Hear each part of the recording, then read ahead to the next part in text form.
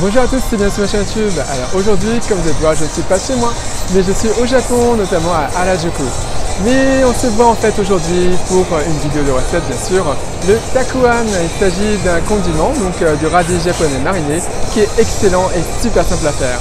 Et pour la recette, c'est tout de suite Pour cette recette, vous aurez besoin de 500 g de daikon, 100 g de sucre, 120 ml de vinaigre de riz blanc, 60 ml d'eau, une cuillère à café de curcuma et d'une cuillère à café de sel.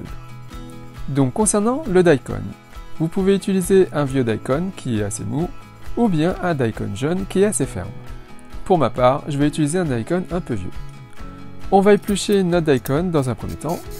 Cette recette est un peu une recette anti-gaspi. On va utiliser en fait un daikon qui est un peu défraîchi dans le réfrigérateur, dont rien ne se perd. Une fois cela fait, on va couper l'extrémité supérieure et on va détailler en deux. On va trancher le daikon en deux pour voir si c'est encore utilisable. L'intérieur de celui-là s'abîme déjà, donc on ne pourra pas utiliser la base. Et pour le dessus, eh bien, il y a juste deux petits points noirs, là où une racine va pousser. On va donc juste retirer ça. Et voilà, nos morceaux de daikon sont prêts à être utilisés. On détaille maintenant en lamelles. Vous l'aurez compris, vous aurez acheté un daikon tout beau tout frais au supermarché, vous auriez pu tout détailler en lamelles. Et voilà le résultat. On ajoute maintenant le sel, ça va le faire dégorger. Et on va répartir le sel un peu partout sur les lamelles. Et voilà, et on laisse ça reposer pendant 15 minutes environ. Ensuite pour la marinade, on a donc du sucre, de l'eau et du vinaigre de riz qui est un vinaigre doux. Et pour la coloration, je vais utiliser une cuillère à café de curcuma. Donc on prend le sucre qu'on a mis dans un bol, on ajoute le vinaigre de riz, puis l'eau,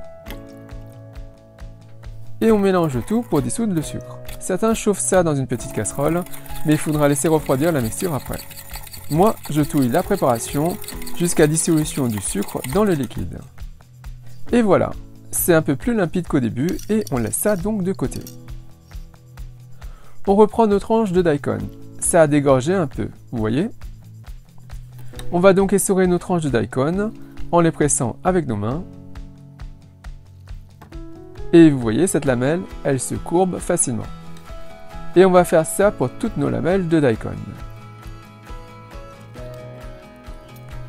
Et voilà pour le dernier tas. Et on va jeter le jus au fond du bol.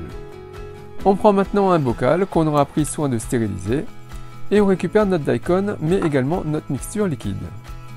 On remplit notre bocal de nos tranches de daikon.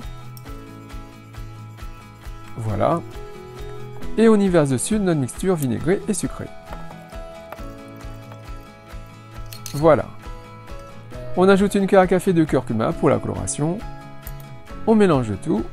Ça va colorer petit à petit. Ce n'est pas une coloration instantanée il faudra attendre 48 heures avant que ça ne prenne une belle couleur jaune. Et voilà, et on laisse ça de côté au réfrigérateur. Au bout de 48 heures, voilà ce que ça donne. Toutes les tranches sont bien colorées. On peut servir ça en accompagnement dans un plat pour donner un peu de croquant et de goût à votre pain. Et ça se garde un mois au réfrigérateur. Et si vous faites une marinade de daikon détaillée en longues tiges, vous pourrez aussi faire des sushimaki. On retrouvera le goût du curcuma, mais ça ne sera pas très prononcé. Vous auriez mis un autre ingrédient pour colorer, ça prendra son goût. En tout cas, ce qu'il y a ici m'a l'air très appétissant. Et maintenant, le petit test, j'attends du goût, du sucré de vinaigré, mais aussi du croquant.